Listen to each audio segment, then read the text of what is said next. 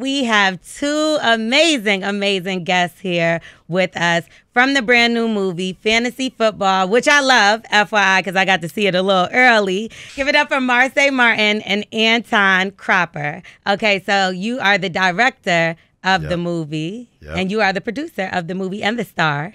Please be clear. Is that a lot of work for you to do both? Um, yeah, yeah, it is. it actually is. But uh, good thing that I was more in like the pre-production process and tried to be as hands-on as I could be and was more present there, um, so I could focus on the acting aspect and the whole dynamic of how Callie. Um, is portrayed after you know we started filming Right. April. So it was you know it was pretty difficult for sure, but I feel like when you are confident enough to use your voice in different areas, I think it can be easygoing. So Yeah, I read somewhere that originally the lead was supposed to be a boy. yeah. Okay, so what made y'all say, no, no, no, it's going to make more sense for it to be a girl? Well, you know, it wasn't us. It was Spring Hill that brought brought it to us and was like, okay, so it was a father son film, but we want to make it into a father daughter, and it just kind of felt right. And I was attached to it as a uh, producer at 1st and I was only reading it just to see if I was wanting to be attached to it as a in a producer standpoint. But then when I when I looked through it and I saw like the true essence of how the family dynamic is and how action packed and fun it felt, I I wanted to uh, give it a shot and see if I could play the daughter.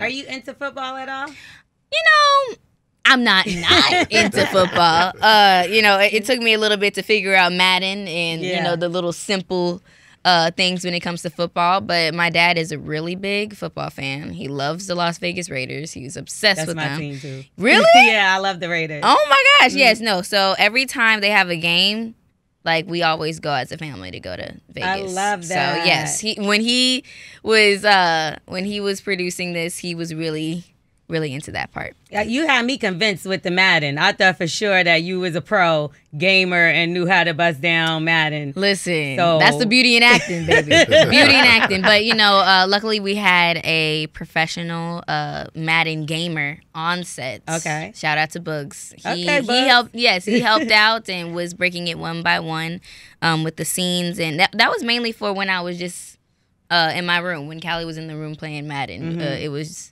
really just me and him practicing. Anton, what about you? You you're a football fan by any chance? Let's go Rams. okay, so you a Rams fan. yeah, I'm from LA, so I got to represent. You know, we hadn't have a team. We didn't have a team for 23 years. So the moment they came back, you know, I had to uh, get back on board with them. Okay, well, something I noticed about you is you have like the gift of making a show get picked up, right? Ah. Because you have done so many pilots for all the way from, um, of course, you've done, you worked with Blackish, which is, is that how you two know each other? Yes. Yes. For sure. Okay, so Blackish, which is super dope. You've done House of Lies. You've done Mixed-ish. You've done Suits. You a bunch of things that got picked up just from you doing even the pilot. Do you get a little offended when they're not calling you to do the whole rest of the season? You're like, hold on now. Nah, nah. You know how it works is, you know, and, and a lot of those shows, you know, some some of them I did the pilots on, and some I I was executive producer and ran the shows, and some I just come in and direct an episode. Yeah. So it's really, you know, uh, there's a beauty in doing pilots because you get to come in, set the world up, and then you know try to pass that on to the other directors that Mm-hmm. come in. And by not staying on the show full time, it frees me up to be able to do projects like, Like this, right. You know, where if I'm staying on, and I've, I've, I've- I've stayed on in both as executive producer on shows where I'm not there full time, and I've stayed there, done shows where I am there full time. And again, it's a lot of responsibility and a lot of work, and, and, and it takes me out of doing other pilots and again, mo- great movies like this. But you did a really powerful episode on Blackish, and that's the Juneteenth episode. And that was something I feel like we definitely need to highlight and should continue to because sometimes we're ignorant to even know what we should be celebrating because it's kind of, you know, we don't know the information, you know. So when the information is put out there for us, especially in the form of a show where we all love, you wouldn't think that you'll be getting certain lessons on, but you do.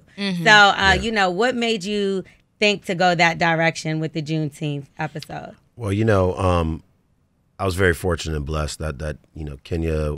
I've known Kenya since junior high, and when the show first got when it first got picked up, he called me and you know was super excited about it, and you know said, "Yo, can you come do some episodes?" And at the time, I was producing Suits, so I couldn't. Uh, I think I didn't come into the second to last episode. Mm-hmm. But then, you know, there was a, a, synergy immediately. And even though I was not a producer there full time, it always felt like family. And uh, it got to the point, I've, I've directed more Blackishes than anyone, um, which I, I, take great pride in because it was such a special show. There we go. Uh, hey. you got the bell. um, but, you know, uh, again, the Juneteenth episode was another one of those where uh, you know I, I, I, did some of the more difficult blackishes, you know, um, mm-hmm. and there was another one where we came in and, and, and between Kenya uh, Barris and Peter Saji, you know, they they wanted to do something really special, and Juneteenth wasn't quite on the map the way it is now, mm-hmm. and um, the cast came in, and the crazy part about that episode is that we started it was the first episode of the season. And so the cast actually all came in a week early to rehearse. When we started we we, we put that whole thing together in five days. Wow there was no music. Mm-hmm. there was no songs written. There was no set built any of that. And so they came in and they were fantastic. I mean, they really put it down. They learned, you know, again, these songs weren't even written. We wrote them as we were prepping the show. That's and crazy. so they learned them, learned the choreography. Um, and uh, it, it just was really important to all of us that we knew we were making something special. That's still one of my proudest proudest uh, things I've ever done is that episode, and we all knew it, and we all, you know, everyone stepped up and put that extra effort in, That's and uh, yeah, you know, so it brought a lot of rec. I don't know if this is hundred percent factual, but I'm gonna say it. What I've heard though is that, um, you know, one of the things that happened is that uh, someone high up in Apple uh, watched the episode uh, I was told it was Tim Cook, but I'm not 100 percent sure. But someone high up in Apple watched the episode and didn't know about Juneteenth. Had mm-hmm. no, no, you know, a lot of people didn't, and that's how it got onto the iPhone as a holiday. Wow. So from watching the episode, so yeah. What? And then now that became obviously then international recognition and people picked up their phones and said, What is this Juneteenth thing on here? So, you know, I often say like we may not be, you know, we, we what we do has an opportunity to impact the entire world. Look you know, that. so uh, you know, so that's a, a, real proud moment for I think for all of us. Yeah, I love that story because sometimes they say nowadays you can't say anything because you're going to get canceled. But I think sometimes it's the way you present things that need to get across to the world, and it will make an impact, just like you all did with that, and like you're doing every day in this industry from when you first did Little. Like it's so impressive, and that's like one of my favorite movies. And I'm really, Aww. I'm gonna tell you why I'm upset with you guys. You never made a Homegirl because I was trying to buy that. Listen, why didn't you do this? okay. Oh my gosh. Uh, Homegirl. That that was that was great. That was a great that idea. was really good. Did you and come it, up with that? It was. I think we wanted a series, and we made it like not really like a series series, but somebody to like kind of be somewhat of a narrator. Yeah. Um, which is voiced by Tracy, surprisingly. Like really? not a lot of people know that. It, that no. was Tracy's that, Tracee Ellis Ross. That was her no voice. way. Yes. We I just asked knew. her. We were like, "You want to do it?" We were like, "Sure." So, um, I, girl, I don't know. That's a lot of that's a lot of technology to go into I it. know, but I, I mean, we yes. need something for us. You yes, know what I'm saying? but we did mention that it wasn't in fantasy football, but we wanted it. We want Homegirl to kind of be placed in every. I love that. Genius. I love that. I yes. love that. So, So- we thought about And that. you just recently turned 18 years Mm-hmm. old. Was that your first on-screen kiss, or did I miss one? Ah. okay, these questions, girl. These questions. Um, I pay well, okay. attention. Um, I think yes, I think that was my first on-screen kiss. I I did have one on Blackish, but we weren't kissing, and it was really awkward because Anthony was there, and like it was supposed to be like a thing where I just sway my head back and forth or whatever, and it was just really weird. Like, oh my god! And I, but I was younger, but yes, that was my first on-screen kiss. Yes. Was that awkward for you? Was that hard for you? Oh, or- oh my god, we're gonna get into this. Yes. she going there. She going all the way. like, was it hard? Yes, it was. Okay, it was hard for me because I was like, I had never done this on camera before, Uh-huh. and then it was literally eating me up inside every single day. I was like, okay. I know this is coming, so it's it's all right. Um, but yeah, I told Anton how I felt about it, and I was like, I'm not doing this over and over and over again. So, uh, but I think it was like, how many takes did we do? We only did a few. We, we only did a few, but you know, always, he was my always, uncle, so he was very yeah. like comforting in that space. I was I screaming. I didn't think you were gonna do it really, I know my best friends. Okay, so they just went to the LA premiere. Yeah, and my best friends. okay, only one of my friends knew, but everybody else was like, "Whoa, whoa, who knew? When was this?" Yes. It was so funny. Oh I'm my gosh, Miles you. was there, and yeah. he was like, "Yo, when did you do that?"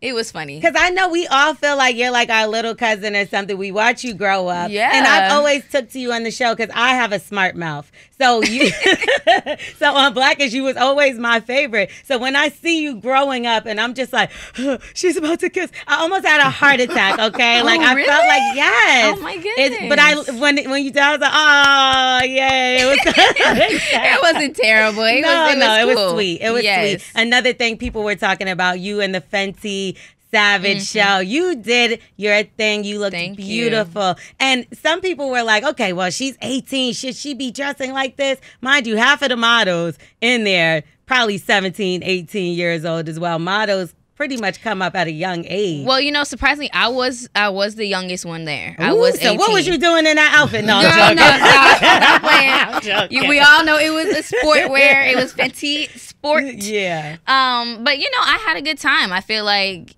like not every day you get a offer from Rihanna wanting to be, you know, in the show. So I felt like it was a great opportunity for me. And I like look, I'm not dumb. I would yeah. never put myself in a situation where I would feel exposed or it is against anything that uh I, I'm all about. So no, I mean it was it was lots of fun and I think that's all that matters at the end of the day. Yeah. You know? And I'm going to constantly grow up. I that's that's, right. that's life. And I mean I, I feel deal like with it, guys.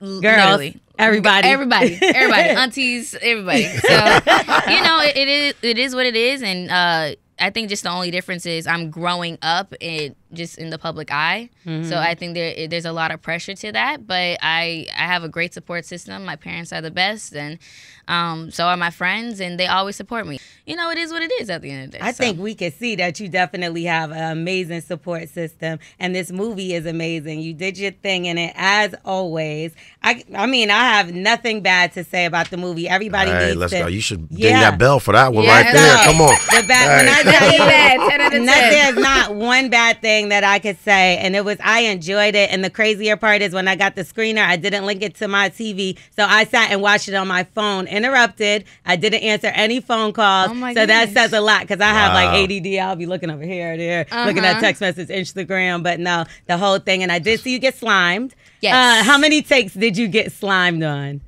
Just one? Just one. Did you say, "Oh, I'm only doing one"? Or no, oh, like you ain't got no it choice. was slime. like it was actual, authentic slime. Of course, we have Nickelodeon a part of this, so right. they wanted to make it feel real. And that was the last scene of the day. Uh-huh. So you know, after we got slime, we were wrapped. How long did it take you to get that slime up out of you? Okay, okay and okay. off of you. Let me think.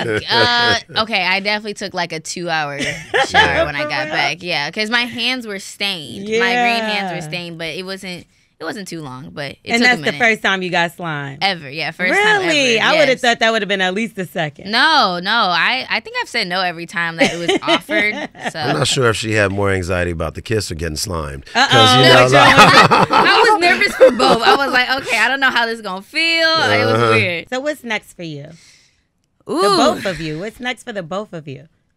Oh my goodness! You want to go first, Uh, Mr. Booked and Busy? Come no, on, actually, Mr. you know, Booked and Busy. This is the first time in a long time um, where I, I have not, I've intentionally not filled my schedule. You know, I have a couple things. I have a couple IPs that I have, a couple things in development always.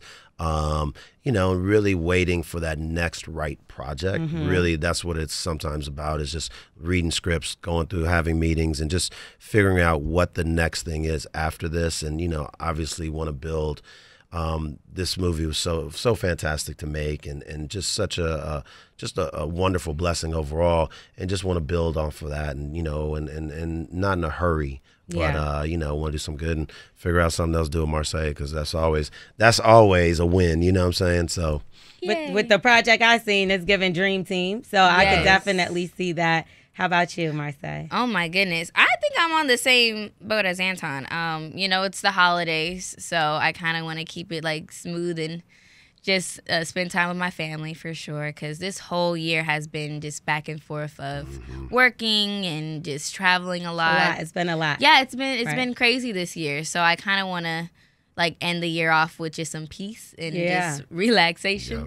Um, but yeah, I definitely have some projects, especially for Genius. Um, as a producer, I have Saturdays coming up that's on Disney Channel that I'm not a part of, but it is just such a fun family show. And of course, we have Golden Brooks, we have uh, Omar Gooding as the parents, and we are just bringing in new talent always. So that's amazing. I think that comes out early uh 2023 and then we have step monster which is a great lionsgate project and just all the above so i i'm i'm She's like, I'm busy. taking a break and then name 16 Yeah. Yeah, yeah. that's pretty much it. There's a lot of things That's that's her though. You know, she's like she's like, I yeah, I'm not that. doing anything Yeah. right now. No, but I these 17 projects that are all Right. happening at once, plus the other 15 that are waiting over here. I yeah But- that. so you know i, I kind of like to keep it uh keep it smooth and whatever happens happens you know things Yeah. things Yeah. constantly change if, especially in the industry that we're in so you know taking it one step at a time Will yeah, will you continue to partner with LeBron James? Because I know he also was a produ- executive producer, correct, Mm-hmm. on on this Yep. project. Is there anything else that maybe uh, you all, all three of you, will be working together on so, soon?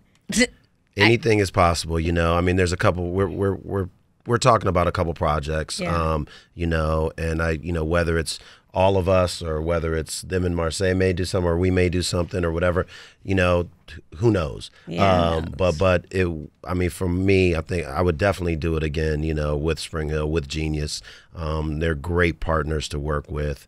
And uh yeah so you know again you know there's a lot of things in in in, in discussions but uh you know we'll see what happens One last question: streaming versus coming out in theaters. What do you feel like is the better effect right now? Because I feel like when I was younger, movie theaters was a thing. I'm Now- so glad you're you're asking this Yeah. question. Um, streaming is where I don't think anybody really knows because, of course, theater just feels more like big and Right. just, of course, it's theatrical, so you you kind of feel more special in that way. And yes, it's still like a big deal, of course, if you have Marvel and those type of big uh big uh productions. But I mean, I would say. Everyone is at home. We've been at home since the pandemic. That's where that's where the money's at. That's where, that's where the streams at, and I think that's just how how it's really supposed to be. If you if you're watching, everything is coming into your home. It is. It doesn't matter in any aspect. That's just what it is, and I think that's just where it's supposed to be right now. I mean, Yeah. There's always periods of times in in the years where things co- are constantly changing Yeah. you know and i think the pandemic really switched how we live and the places that we want to go and what we find comfortable and i think streaming was a really big part of that so um I, I'm very grateful to be able to be working with Paramount Plus on this and them to be putting out a really amazing platform. And especially if we want to get like the big, big stuff, we have NFL and EA Sports a part of it to make it more realistic. And um, yeah, I, I think that's me though. That's me though. I mean, I have So- to I have to agree in in the sense of you know what's beautiful and what's beautiful about this film is it really is you know by design to be watched.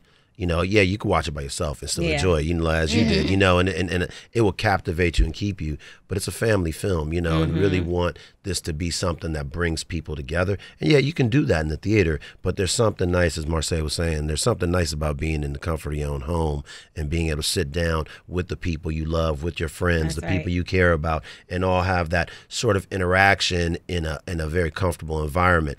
Um, I will say I do think that there's still something to be said about theatrical release and what I think, what I hope the new model is, is that I think in the future you'll start seeing theatrical releases for more films that then will immediately go to streaming. So the theatrical Okay. release almost becomes, as Marsai said, it becomes a much bigger deal and a bigger Mm-hmm. presentation. So that actually becomes part of the marketing element. So for, like, you three get the buzz. only. Exactly. Right. You get No, the buzz, you get the premiere. they're still doing that. Like, yeah. it's just and then now boom, happening. Come out on streaming and you know, I'm happy though. Like she said, I'm happy. We're on Paramount Plus. They've been great and they're um, you know, they're they're they're bringing this out on the perfect date, Thanksgiving. You know, uh, uh, you know, it's Perfect coming out. date. Yeah, there you Mm-hmm. go. So all through the holidays, through Christmas, through everything, you know, you can really enjoy it. And, and this is, I'm not just saying this because you know I've I've seen the movie a hundred times. You know, I've mm-hmm. been, I you know, she has too. You know, we go through it mm-hmm. step by step, and you know, we make the changes until it's the final product.